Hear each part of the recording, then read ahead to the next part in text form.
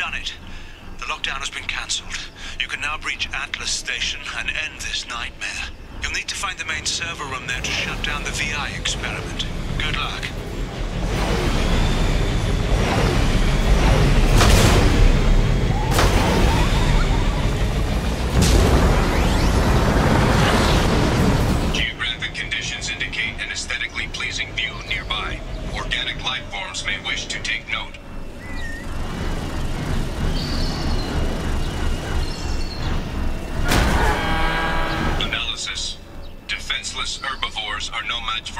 Missiles.